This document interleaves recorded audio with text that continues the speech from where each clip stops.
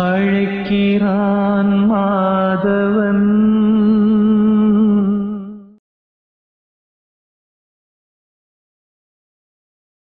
வணக்கம் திருமாறன் அண்ணா. என்னோட நேம் கீர்த்தனா. பாண்டிச்சேரியிலேருந்து பேசுகிறேன் நீங்கள் கொடுத்த திதி மந்திரம் வந்து எனக்கு நல்லா ஒர்க் அவுட் ஆச்சுன்னா இப்போ எனக்கு வந்து ஒரு நல்ல ஃபாரின் ஜாப் ஆப்பர்ச்சுனிட்டி கிடச்சிருக்கு. ஸோ அதனால் ரொம்ப ரொம்ப ரொம்ப ரொம்ப தேங்க்ஸ்ண்ணா நன்றி. குருவே சரணம். எல்லோருக்கும் வணக்கம். இன்றைய வீடியோவில் எந்த விஷயத்தை பற்றி பார்க்க போகிறோம் அப்படின்னா இதை சொல்லும்போதே இந்த விஷயத்தை பற்றி பார்க்கும்போதே எனக்கு சிரிப்பு தான் வருது. ஏன்னா பல பேர் என்ன கே சொல்கிறீங்கன்னா என்னோட வாழ்க்கையில் எவ்வளோ ஒரு பெரிய கஷ்டம் இருக்குது தெரியுமா? என் வாழ்க்கையை வந்து இந்த மாதிரி கஷ்டம்லாம் இருக்குன்னு அவங்ககிட்ட சொன்னேன்னா நீங்களே கண்ணீர் விட்டு அழுதுருவீங்க. என் வாழ்க்கையை வாழ்கிறதுக்கு அவ்வளோ ஒரு மன வேதனையாகவும் அவ்வளோ ஒரு கஷ்டமாகவும் இருக்குது என்னோட வாழ்க்கையை தாண்டி இப்படி போகவே முடியல அப்படின்னு சொல்லி பல பேர் சொல்கிறத நான் பார்க்குறேன். ஒரு விஷயம் நீங்கள் நல்லா புரிஞ்சுங்க. நான் உங்களை பார்த்து ஒரு கேள்வி ஒன்று கேட்குறேன். இந்த வாழ்க்கையை அதாவது நீங்கள் வாழக்கூடிய வாழ்க்கையை பிரச்சனைகள் இல்லாத வாழ்க்கையாக வாழ்வது என்பது சாத்தியமா? அப்படின்னு சொல்லி நான் உங்களை ஒரு கேள்வி கேட்குறேன். அதாவது நீங்கள் வாழக்கூடிய வாழ்க்கையை பிரச்சனைகளே இல்லாமல் வாழ்வது சாத்தியமா? அப்படின்னா உங்களுக்குள்ள என்ன பதில் வருது அப்படின்றத நீங்கள் வச்சுக்கோங்க. உங்களுக்கு டைம் கொடுக்குறேன். இந்த வாழ்க்கையை பிரச்சனைகள் இல்லாமல் வாழ்வது சாத்தியமா? அப்படின்ற ஒரு கேள்வி உங்களை கேட்குறேன். உங்களுக்கு என்ன பதில் தருது?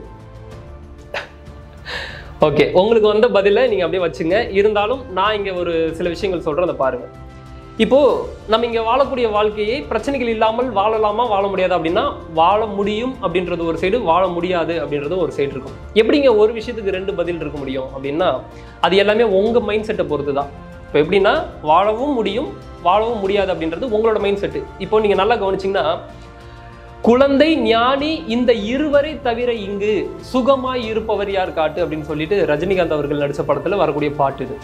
அதாவது குழந்தை ஞானி இந்த இருவரை தவிர இங்கு சுகமாய் இருப்பவர் யார் காட்டு? அப்படின்னு சொல்லி சொல்றாங்க. ஏன் இந்த குழந்தையும் இந்த ஞானியும் வந்து கம்பேர் பண்றாங்க?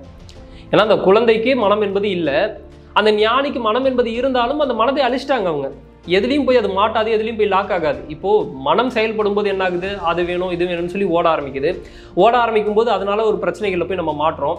அதனால அந்த மன வலியும் அந்த மன வேதனையும் தருது. அந்த மன வலி அந்த மன வேதனை தரும்போது உடல்நிலையில் பிரச்சனை வருது. அப்புறம் அந்த உடல்நிலையில் பிரச்சனை வரும்போது திரும்ப மனதுக்கு பாதிப்பு ஏற்படுது. இப்போ நீங்கள் நல்லா கவனிச்சிங்கன்னா அந்த மனம் செயல்படும் போது அந்த பிரச்சனைகள் என்பது வந்துடுது அதனால தான் அந்த குழந்தை ஞானி இந்த இருவரை தவிர இங்கே சுகமாக இருப்பவர் யார் காட்டு அப்படின்னு சொல்லி சொல்கிறாங்க அதே மாதிரி சிவவாக்கியர் பாடல் எடுத்துக்கிட்டிங்கன்னா கூட ஒரு லைன் ஒன்று வரும் அழகா இன்பமற்ற யோகியை இருளும் வந்து அணுகுமோ அப்படின்னு சொல்லி ஒரு பாடல் ஒன்று வரும். அந்த சிவவாக்கியரோட பாடலில் அந்த லிரிக்ஸ் வரும். அதாவது இன்பமற்ற யோகியை இன்பமே இல்லாத ஒரு யோகியை எப்படி இருள் வந்து அணுகும் அப்படின்னு சொல்லி கேட்பாங்க. அப்போ இந்த மாதிரி மனமற்ற நிலைக்கு ஒரு மனிதன் போகும்போது தான் அவனுக்கு இந்த பிரச்சனைகள் இல்லாமல் இருக்குது சரி ஓகே. நம்ம அதுக்கு சாத்தியமா? அப்படின்னு சொல்லி நீங்கள் இப்போ ஒரு கேள்வி வரும். நான் இந்த உலக வாழ்க்கையை வாழ்ந்துட்டு இருக்கேன். எப்படிங்க இந்த மாதிரி இருக்க முடியும்? குழந்தை மாதிரி நான் எப்படி இருக்க முடியும்? ஞானி மாதிரி எப்படி இருக்க முடியும்? எனக்கும் ஆசாபாசங்கள் இருக்குது தானே நானும் இந்த உலக வாழ்க்கையை தானே வாழ்ந்துட்டு இருக்கேன். இப்போ இன்னைக்கு கார் வேணும் அப்படின்னா நான் கார் நான் வாங்கணும். வீடு வேணும் அப்படின்னா வீடு கட்டணும் அப்படின்னும் போது சில விஷயங்களில் நான் ஈடுபட தானே செய்ய வேண்டியதாக இருக்குது எப்படி நான் சும்மா உட்கார முடியும்? அதனால தான் என்ன சொல்கிறேன்னா உங்களால் இந்த வாழ்க்கை வாழ்வது என்பது கொஞ்சம் கடினமான ஒரு விஷயம். இருந்தாலும் நம்ம குறைச்சிக்கிறதுக்கான வழிகளை பார்க்கணும்ல. இப்போ மனம் எல்லாத்துக்கும் வேதனைப்படுது அப்படின்னா அது ஓரளவுக்கு கம்மி பண்ணிக்கிறதுக்கான விஷயங்கள் நம்ம பார்க்கணும். இப்போ சில பேர்லாம் வந்து பார்த்தீங்கன்னா என் மாமியார் இப்படி பண்ணுறாங்க என் மருமக இப்படி பண்ணுறா அப்படின்னு சொல்லிட்டு தேவையில்லாத விஷயங்களுக்கு எல்லாத்துக்குமே நீங்கள் ரெஸ்பான்சிபிலிட்டி எடுத்துக்கிறீங்க. இப்போது மாமனார் மாமியார் இப்படி பண்ணணும் மருமக இப்படி இருக்கணும் அப்படின்னு சொல்லிட்டு நீங்கள் தானே கற்பனை பண்ணுறீங்க உங்களோட எக்ஸ்பெக்டேஷன்ஸ்க்கு அவங்க இருக்க மாட்டாங்க. அந்த எக்ஸ்பெக்டேஷனுக்கு இருக்க மாட்டாங்கன்னு தெரிஞ்சும் நீங்கள் அப்படி இருக்கணும் அப்படி இருக்கணும்னு சொல்லி நீங்கள் ஒரு கற்பனை பண்ணுறீங்கல்ல அந்த கற்பனை உங்களுக்கு அங்கே நிறைவேறாதனால உங்களுக்கு மனவேதனையும் மன பிரச்சனைகளும் உங்களுக்கு தருது. அப்போ நீங்கள் என்ன பண்ணணும்னா இந்த வீடு பிரச்சனை இருக்கு சரி ஓகே வீடு நம்ம கட்டுறோம். அது மூலமா பிரச்சனை வருதுன்னா இது நம்ம தேடிக்கிட்டோம். சரி ஓகே இது நம்மளுக்கு இன்னைக்கு தேவையா இருக்கு அப்படின்னும் போது நம்ம அதில் போய் ஈடுபட்டிருக்கோம். அதனால வரக்கூடிய பிரச்சனைகள் நம்ம ஃபேஸ் பண்றோம்.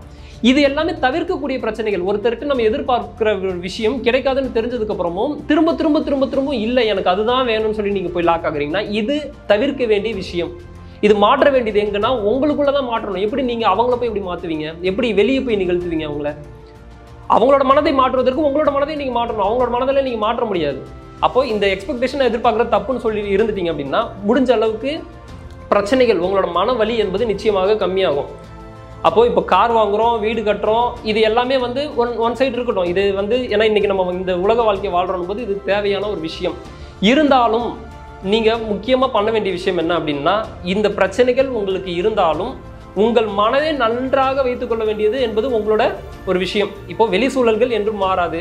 உள் சூழல்களை நல்லா வைத்துக் கொள்வது என்பது நம்ம கையில் இருக்கு. இப்போ ஜாதகம் வேலை செய்யறது என்ன அப்படின்னா யோகிக்கும் ஜாதகம் வேலை செய்யுது எல்லாருக்குமே ஜாதகம் வேலை செய்யுது பட் அந்த மனமற்ற நிலைக்கு போகும்போது என்ன ஆகுதுன்னா அதை பத்தி அவனுக்கு கவலையே இல்லையே. இப்போ கோமா ஸ்டேஜில் இருக்கிறவனுக்கு ஜாதகம் வேலை செஞ்சான்னா வேலை செய்யலன்னா என்ன? ஏன்னா அவனுக்கு அந்த மனம் அப்படின்ற ஒரு விஷயமே இல்லை. அந்த மனம்ன்ற ஒன்று தான் வந்து அனுபவிக்குது. இது நான் கஷ்டப்படுறேன். இது வந்து எனக்கு வந்திருக்கு அப்படின்னு சொல்லிட்டு எது எடுத்துக்குது? இது எனக்கு வந்திருக்குன்னு சொல்லிட்டு ரெஸ்பான்சிபிலிட்டி நீங்க எடுத்துக்கிறீங்க. அதனால தான் உங்களுக்கு பிரச்சனையா இருக்கு. மருமகி என்ன மதிக்க மாட்றா? அந்த ரெஸ்பான்சிபிலிட்டி நீங்க எடுத்துக்கிறீங்க. மாமியார் வந்து என்ன மதிக்க மாட்றாங்க? அந்த ரெஸ்பான்சிபிலிட்டி நீங்க எடுத்துக்கிறீங்க. கணவன் மதிச்சே நடக்க மாட்றான். அந்த ரெஸ்பான்சிபிலிட்டி நீங்க எடுத்துக்கிறீங்க. அப்போ இந்த மாதிரி ஒரு ஒரு இடத்துக்கும் நீங்க ரெஸ்பான்சிபிலிட்டி எடுத்து மனம் வலிக்குது. நீங்க உங்களுக்கு மேபி சொல்லக்கூடிய விஷயங்கள் உங்களுக்கு டீப்பா புரியுதான்னு தெரியல. நீங்க திரும்ப திரும்ப இந்த வீடியோ நீங்க ப்ளே பண்ணி பாருங்க. அனலைஸ் பண்ணி பாருங்க. உங்களுக்குள்ள இந்த விஷயத்தை ஏன் சொல்றேன் அப்படின்னு சொல்லி நீங்க அனலைஸ் பண்ணி பாருங்க. எல்லாத்துக்கும் நம்ம தான் இங்க பொறுப்பு எடுத்துக்கிறோம். இது எனக்கு வலி ஏற்படுதுன்னு சொல்லி நம்ம தான் எடுத்துக்கிறோம். அந்த விஷயத்தை நீங்க ஒதுக்கி விட்டுட்டீங்க அப்படின்னா முடிஞ்ச அளவுக்கு அந்த பிரச்சனைகள் இல்லாத வாழ்க்கையை நீங்க வாழ முடியும். அப்போ அந்த வீடுனால பிரச்சனை வருது அதனால பிரச்சனை வருதுன்னா அதை நீங்கள் ஃபேஸ் பண்ணுறதுக்கு நீங்கள் தயாராக இருக்கணும். ஏன்னா நீங்கள் தானே அந்த அனுபவம். அந்த சந்தோஷம் வேணும்னு சொல்லிட்டு நீங்கள் தான் போயிட்டு அந்த வீடு கட்டுறீங்க கார் வாங்குறீங்க அதனால வரக்கூடிய லோன் அந்த டெப்டில் நீங்கள் போய் மாட்டுறீங்க அந்த கடலில் போய் மாட்டுறீங்க. அப்படின்னும் போது இப்போ ஒரு வீடு வாங்க போகிறோம் அப்படின்னா அந்த வீடுனால ஒரு பிரச்சனை வருது அப்படின்னா நீங்கள் தானே தயாராக இருக்கணும். நீங்கள் தானே முன் வந்து பண்ணியிருக்கீங்க. இப்போ போய் இறைவன்கிட்ட இறைவா நீ வந்து எனக்கு இவ்வளோ பெரிய ஒரு கஷ்டத்தை கொடுத்துட்டியே. நீ உனக்கெல்லாம் வந்து கண்ணு இருக்கா இல்லையா? நான் எவ்வளோ பெரிய ஒரு கஷ்டத்தில் மாட்டி தவிக்கிறேன் தெரியுமா? அப்படின்னா உங்களோட சூழல் என்ன நீங்க தான் பார்த்துக்கணும். நம்மளுக்கு இப்போ ஒரு 50000 ரூபா வருமானம் வருதுன்னா போயிட்டு ஒன்றரை லட்ச ரூபா ரெண்டு லட்ச ரூபாய்க்கான இஎம்ஐ நீங்க எடுத்து வச்சீங்கன்னா எப்படி நீங்க சஃபர் ஆகாம இருப்பீங்க? அப்போ நீங்க ஒரு ஒரு விஷயங்களையும் போய் லாக் ஆகுறீங்க. மனம் சொல்லும் எப்படிடா கட்டுவ அப்படின்னு சொல்லி கேட்கும். பார்த்துக்கலாம் அப்படின்னு சொல்லிட்டு போனீங்கன்னா மாட்டிப்பீங்க. அப்போ நீங்க இங்க புரிஞ்சுக்க வேண்டிய விஷயம் என்னன்னா மனம் வலி இல்லாமல் உங்களால் வாழ முடியும்.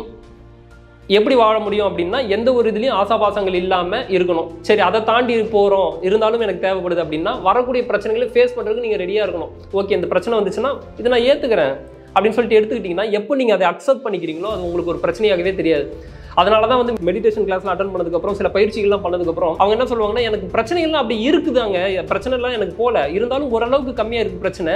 இருந்தாலும் பிரச்சனை இருந்தாலும் எனக்கு மனம் வலி ஏற்படலைன்றாங்க. என்ன காரணம்னா அந்த மெடிடேஷன் பண்ணும்போது அந்த மூச்சு ஏற்றி இறக்கும்போது என்ன ஆகுதுன்னா நீங்கள் ஒரு ஸ்லோ டவுனான ஒரு ப்ராசஸ்க்குள்ள போவீங்க.